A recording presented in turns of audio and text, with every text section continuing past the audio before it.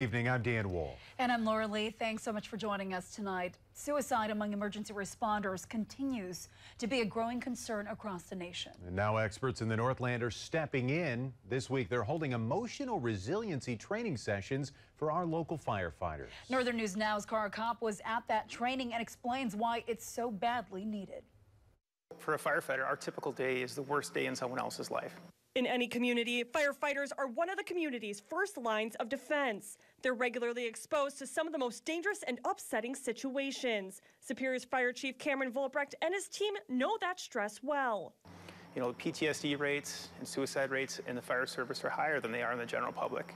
They're very similar to what we would see in active duty military because we're exposed to the same things. A pressing concern that grew when a study from the Ruderman Family Foundation found more first responders die of suicide than in the line of duty each year. So we have this history in the fire service of being this, this tough person mentality where we take everything and we kind of box it up into our, ourselves and eat it, and we don't talk about it. But now the Superior Fire Department is trying to change that. They brought in the International Association of Firefighters to put on emotional resilience training.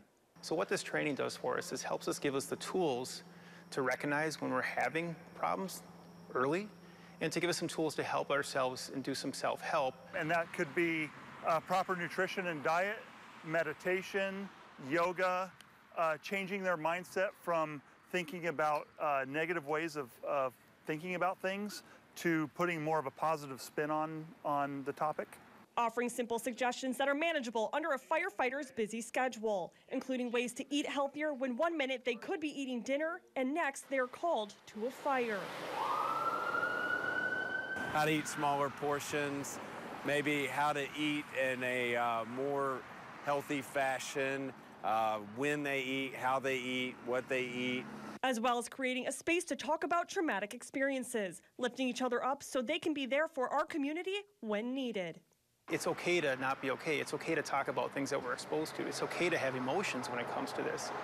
And that this resiliency training helps us take that next step and that it's okay to move forward. In Superior, Cara Kopp, Northern News Now.